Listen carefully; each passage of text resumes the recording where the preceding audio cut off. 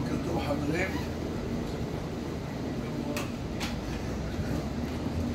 תהילים of the day, מזמור קכ"ט.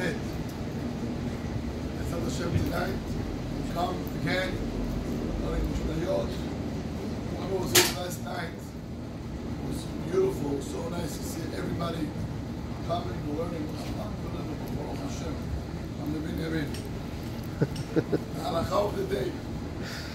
בראש חודש ניסן, מנהג הוא, מנהג טוב, לקרוא every day after the תפילה, לקרוא פרשת הנשיאים.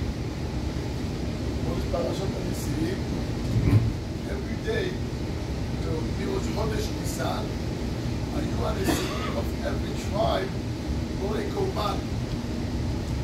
המנהג is that every day from ראש חודש קוראים דבר יום ביומו. Why is it? למה צריך לקרוא את הפרשה הזאת? So we go down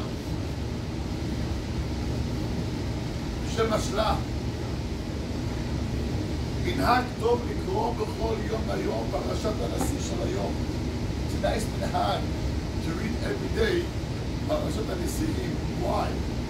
כל נשיא ונשיא, every נשיא of every tribe, היה לו סודות גדולים אשר המשיכו שפע רוחנית כל אחד לשבטו כל ימי עולם. To his words. לנשיא of שבט יהודה, for example, את הקורבן שלו. קורבנו כערב כסף וחם, שלוש שמוגעת בשקלה, זרק אחד כסף, 70 שקל בשקל הקודש. He bought this קורבן, the numbers, and the gold, and the silver, and the type of קורבנות, and the amount of the קורבנות. Each נשיא היה לו כוונות גדולות מאוד מאוד to bring, to draw שפע for his tribe כל ימי העולם. It's something that exists עד היום. כל שבט ושבט, כל נשיא ונשיא, שאב שפע לאותו יום את השפע לכל השבט שלו. And therefore, לא לחינם התורה כתבה for each נשיא and each tribe את היום שלו. How special. תורה emphasizes everyone different, everyone unique. למה? כי השפע הזה נמצא אצל כל שבט ושבט. ולכן הוא כותב. ולכן יש עניין לעורר את קדושת היום. כשאתה קורא את הפרשת הנשיאים, you're waking up that כוח to bring שפע upon you, לעם ישראל.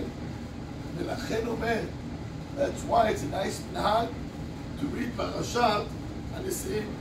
לא ברוך השם over here, we got עזר, מרקו, רבי, פועל, ברוך השם, that they're on top to say this פרשת הנשיאים every day, הם בוודאי חזק וברוך לכל מי שאומר אותו.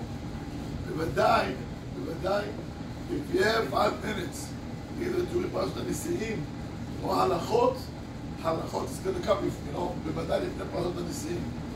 ודאי ההלכה חשוב יותר מפרשת הנשיאים.